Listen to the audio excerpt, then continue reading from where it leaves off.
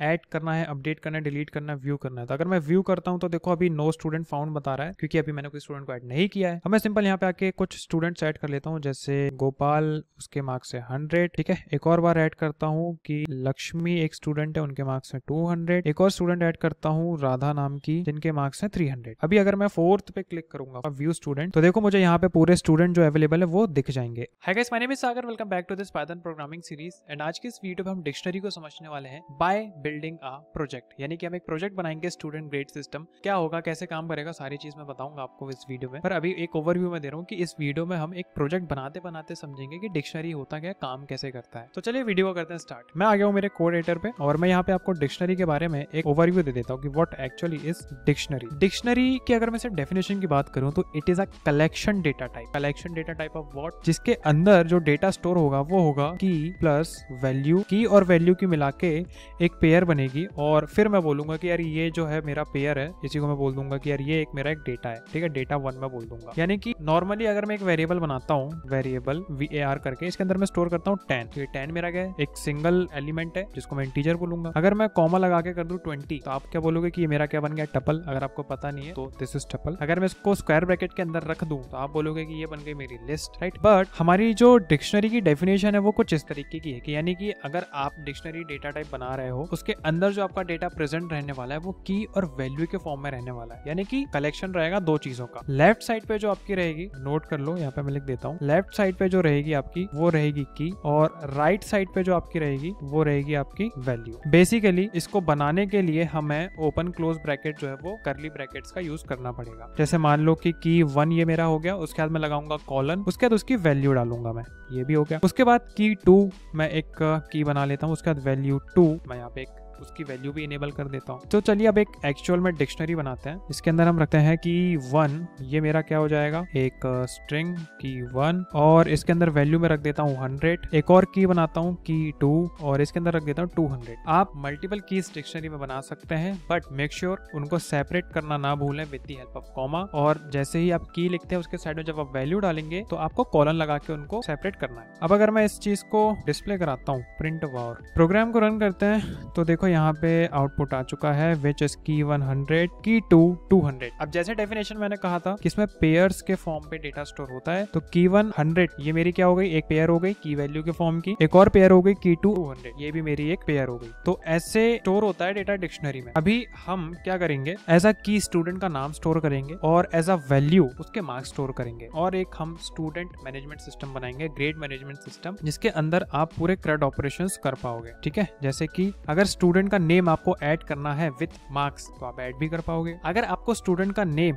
Update करना यानी कि एग्जिस्टिंग स्टूडेंट है, उसके मार्क्स जो है गलत डल गए। अब आप उसको अपडेट करना चाहते हैं तो आप वो भी कर सकते हैं। अगर आपको उसको डिलीट करना है तो आप डिलीट भी कर सकते हैं। सिंपल आपको स्टूडेंट का नाम डालना है और वो आपकी डिक्शनरी से डिलीट हो जाएगा। उसके बाद बात करते हैं कि आप व्यू भी कर सकते हैं, यानी कि जितने भी स्टूडेंट अपने मार्क्स के साथ आपके डिक्शनरी पे रखे हुए हैं, आप उनको व्यू भी कर सकते हैं। और उसके बाद अगर आप इस प्रोग्राम को एग्जिट करना चाहते हैं तो आप एग्जिट भी कर सकते हैं। बेसिकली ये प्रोग्राम बार बार चलेगा और बार बार आपसे ये ऑप्शंस देके पूछते रहेगा ऐड करना है अपडेट करना है डिलीट करना है व्यू करना है या एग्जिट करना है। जब तक आप अपने आप से बाय सेल्फ एग्जिट या फिर फाइव या जो भी ऑप्शन हम देंगे, वो नहीं दबा देते, तब तक ये ऐप बंद नहीं हो अगर आप एक बिगनर है तो हो सकता है आप थोड़े से घबरा रहे हो कि भैया, कि कैसे हम इतने सारे ऑपरेशन परफॉर्म करेंगे। Don't worry just be with me start करते हैं, पर उसके पहले मैं आपको कुछ मेथड्स के बारे में बताना चाहूँगा डिक्शनरी की, जो कि हम यूज़ करने वाले हैं। सबसे पहला कि how to create a dictionary note कर लो, अगर न्यू हो तो नोट कर लो और अगर ओल्ड स्टूडेंट हो तो रिवाइज कर लो। तो स्टूडेंट नाम का हम एक डिक्शनरी बना लेते हैं। सबसे पहले हम स्टोर कर देते हैं कि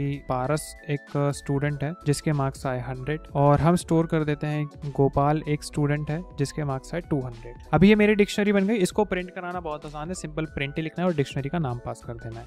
इसके बाद मैं आपको एक मेथड के बारे में बताना चाहूँगा which is accessing a element अभी अगर हम लिस्ट में काम कर रहे होते हैं तो हम लोग क्या करते हैं? इंडेक्सिंग का यूज़ करते हैं। पर यहाँ पे भी हम इंडेक्सिंग करेंगे, पर यहाँ पे इंडेक्सिंग नंबर डालने के बजाय हम की का नाम डालने वाले हैं। जैसे कि हमारी एक लिस्ट होती थी वन टू थ्री फोर जिसके अंदर एलिमेंट्स बैठे होते थे तो हम क्या लिखते थे? इंडेक्सिंग नंबर लिखते थे। पर यहाँ पे इंडेक्स नंबर काम नहीं करने वाला। अगर आपको डिक्शनरी में किसी वैल्यू को डिस्प्ले कराना तो आपको उसकी की एक्सेस करनी पड़ेगी। तो वो कैसे करेंगे? इसके लिए आपको सिंपल प्रिंट स्टेटमेंट चला देना है। सबसे पहले हम लिखेंगे डिक्शनरी का नाम। उसके बाद हम लगाएँगे स्क्वायर ब्रैकेट्स के अंदर की का नाम। मैंने क्या करा, सबसे पहले डिक्शनरी का नाम लिखना है स्क्वायर ब्रैकेट के अंदर आपको की पास कर देनी है, जैसे मैं गोपाल पास कर देता हूँ। अब अगर मैं गोपाल पास करूँगा तो आउटपुट में आंसर आएगा 200 यानी कि अगर आप की पास करेंगे तो ये उसकी वैल्यू रिटर्न करेगा। तो ये हो गया एक्सेसिंग का एलिमेंट उसके बाद मैं आपको बता देता हूँ कि अपडेट कैसे करते हैं। यानी कि एग्जिस्टिंग एलिमेंट है, आप उसको अपडेट कैसे करोगे? बहुत से लोगों को आइडिया लग रहा होगा धीरे धीरे कि जो प्रोजेक्ट के बारे में मैंने आपको बताया था, वो कैसे बिल्डअप होने वाला है। इसके लिए बहुत आसान है सिंपल प्रिंट स्टेटमेंट लिखना है। सबसे पहले यहाँ पे हमें डिक्शनरी का नाम लिखना है। उसके बाद हमें ब्रैकेट में उस की का नाम लिख देना है, जिसकी वैल्यू हम अपडेट करना चाहते हैं। मैं मान रहा हूँ कि यार चलो ठीक है, गोपाल के पहले 200 थे, अभी इसने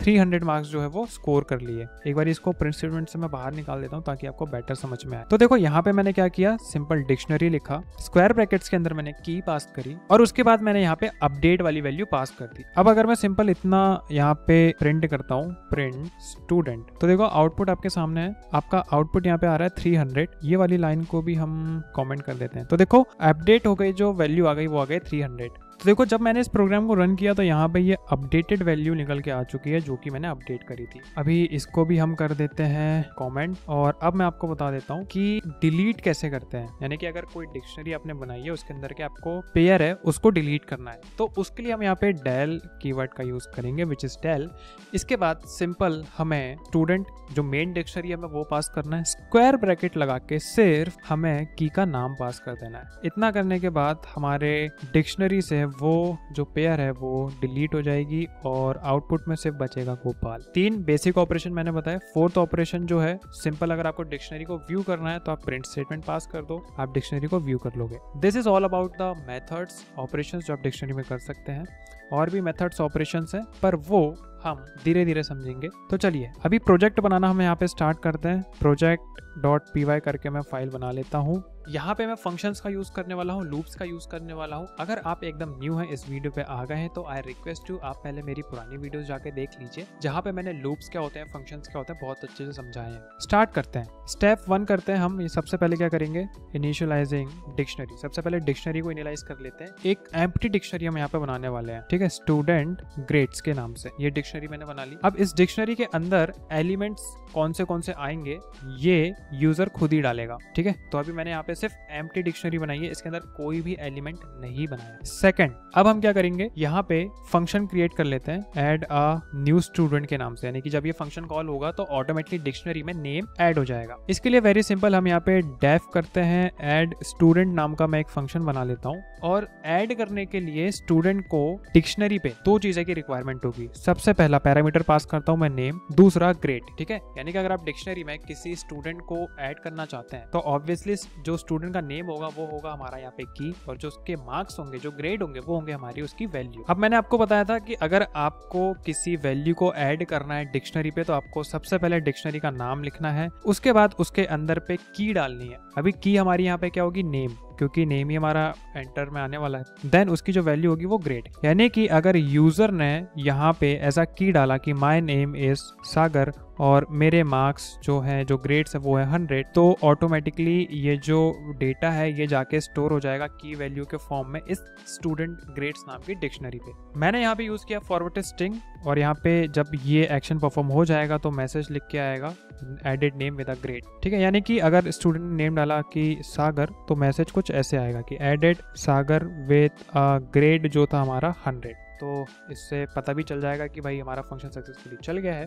सेकंड अब हम एक दूसरा फ़ंक्शन बनाते हैं जिसके अंदर हम स्टूडेंट को अपडेट करेंगे, यानी कि आपने एक फ़ंक्शन तो बना लिया स्टूडेंट ऐड करने का। अब हम एक ऐसा फ़ंक्शन बनाते हैं जिसके अंदर आप स्टूडेंट का नाम डालेंगे और अगर आपको उसका ग्रेड अपग्रेड करना है, यानी कि अगर पहले सौ था, अब दो करना है तो वो चीज़ आप कर सकते हो। ये फ़ंक्शन बनाने के लिए सिंपल हम यहाँ पे सबसे पहले डेफ कीवर्ड का यूज़ करते हैं। अपडेट स्टूडेंट नाम का मैंने यहाँ पे फ़ंक्शन बना लिया और इसके अंदर मैं पास कर रहा हूँ दो पैरामीटर ठीक है? और यहाँ पे अब मैं लिखता हूँ मेन फ़ंक्शन और अब यहाँ पे मैं लिखूँगा मेन लॉजिक सबसे पहले तो मैं मेंबरशिप ऑपरेटर की मदद से ये फाइंड करूँगा कि जो वैल्यू यानी कि जो नेम आपने डाला है, जो यूज़र ने एंटर करा है, वो हमारी डिक्शनरी पे प्रेजेंट है या नहीं। अगर है तो ही आप उसका नेम अपडेट कर पाओगे, नहीं है तो नहीं कर पाओगे। तो सबसे पहले मैं क्या करता हूँ फाइंड करता हूँ कि if name in student grades यानी कि जो नेम जो आपने डाला है यहाँ पे इनपुट में जो भी डालेगा यूज़र हमारा, सबसे पहले चेक करो कि वो स्टूडेंट ग्रेड नाम की डिक्शनरी पे है या नहीं। उसके बाद मैं बोल रहा हूँ कि भाई, जाओ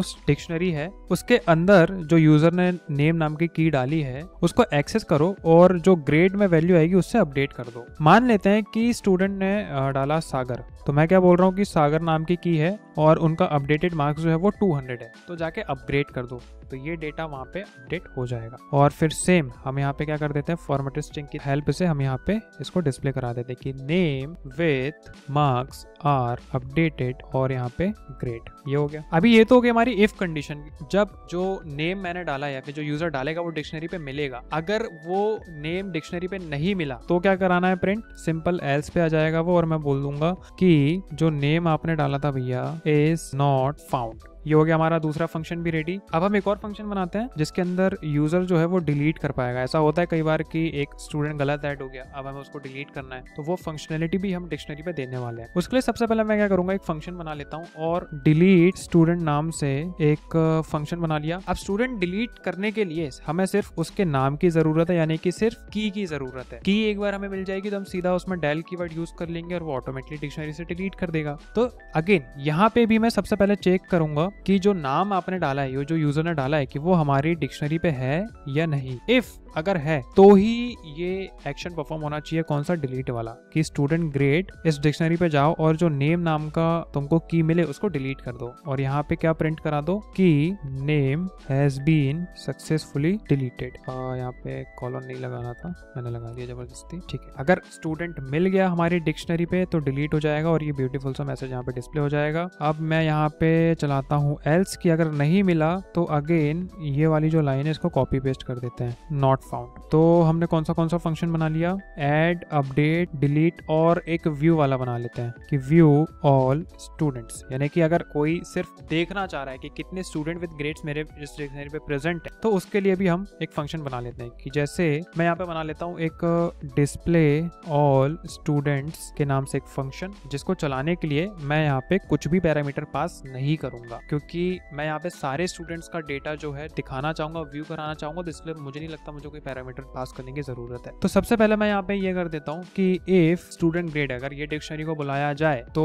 with the help of loop मैं यहाँ पे इनको डिस्प्ले करा दूँगा कि for name grade in student grade और मैं यहाँ पे यूज़ कर रहा हूँ आइटम्स मेथड का। आइटम्स मेथड क्या करता है बेसिकली जो भी की और वैल्यू के फॉर्म पे आपके डिक्शनरी पे एलिमेंट्स प्रेजेंट है, उनको डिस्प्ले कर देगा। तो मैंने यहाँ पे सिंपल एक फॉर लूप चलाया कि नेम और ग्रेड एज अ की वैल्यू मुझे चाहिए। और जाओ स्टूडेंट डॉट ग्रेड डिक्शनरी पे और डॉट आइटम मेथड मैंने यहाँ पे यूज़ करी है। Dot item method dot item method क्या करता है? मैंने जस्ट अभी आपको बताया कि जो भी की और वैल्यू प्रेजेंट है, हमारे डिक्शनरी पे उनको डिस्प्ले कर देगा। तो मैं यहाँ पे क्या करता हूँ? फॉर्मेटेड स्ट्रिंग की मदद से यहाँ पे डिस्प्ले करा देता हूँ कि नेम फिर यहाँ पे ग्रेड चलिए जी, यहाँ तक आपको समझ में आ गया होगा। एल्स अगर कोई डेटा नहीं मिला हमारी डिक्शनरी पे तो क्या बोल देंगे? नो स्टूडेंट्स फाउंड या फिर एडिट यहाँ तक हमने सारे फ़ंक्शंस रेडी कर लिए हैं और अगर मैं यहाँ पे सिंपल एक छोटा सा प्रोग्राम चला के देखूँ कि डिस्प्ले ऑल स्टूडेंट और इसको रन करके देखता हूँ तो क्या आता है?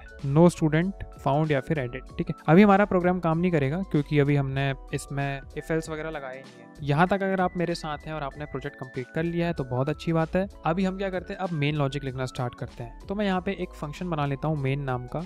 यहाँ पे मैं यूज़ कर रहा हूँ वाइल ट्रू और यहाँ पे सबसे पहले मैं डिस्प्ले कराना चाहूँगा प्रिंट क्या प्रिंट करा दो? कि स्टूडेंट ग्रेड्स मैनेजमेंट सिस्टम इतना ठीक है। उसके बाद मैं यहाँ पे इन्हें डिस्प्ले कराना चाहता हूँ कि one if you want to add a student तीन, चार, पाँच छः ऑप्शन दे देते हैं।